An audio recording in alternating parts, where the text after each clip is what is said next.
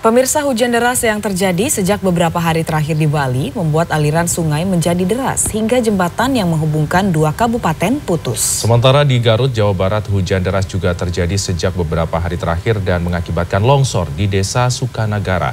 Satu warga dilaporkan hilang selengkapnya. Kami rangkum dalam Indonesia, Indonesia 24 jam.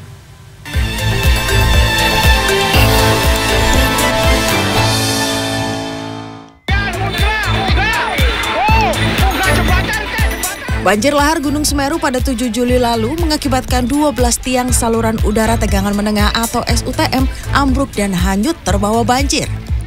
Akibatnya 134 gardu listrik terdampak dan puluhan ribu warga terdampak padamnya listrik. Pihak PLN pun mengerahkan 11 unit mobil teknik pada minggu untuk segera melakukan perbaikan jaringan listrik di wilayah yang terdampak.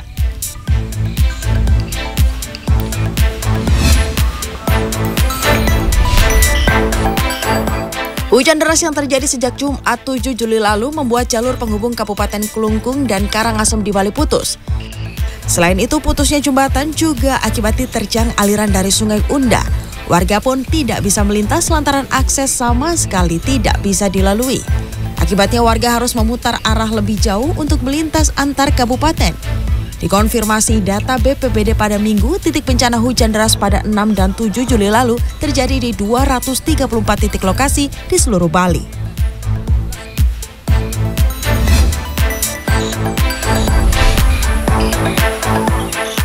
Hujan deras yang mengguyur wilayah Kabupaten Garut, Jawa Barat terjadi sejak Jumat 7 Juli lalu mengakibatkan lereng perbukitan di Kampung Lembur Tengah, Desa Sukanagara longsor pada Sabtu siang.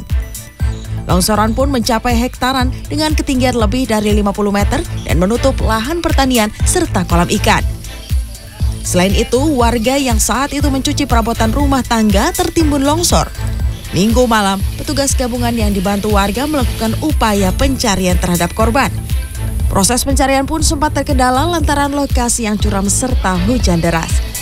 Tim Liputan CNN Indonesia.